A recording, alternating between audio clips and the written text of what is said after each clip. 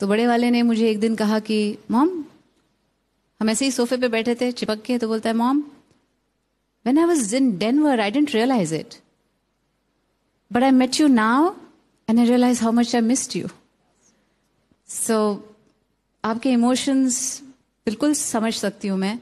Performance तो मैं क्या कहूँ, वो तो मेरे लिए शब्द नहीं है, इतना अच्छा आपने किया।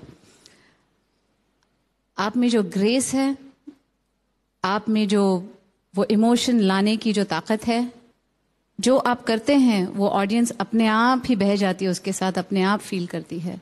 भगवान का शुक्रिया अदा मानती हूँ।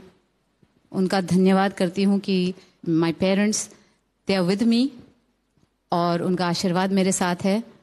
And I am sure wherever she is your mom right now she is watching you और उनका आशीर्वाद बिल्कुल आपके साथ है और वो हैं आपके साथ और आप में हैं। तो आप ये कभी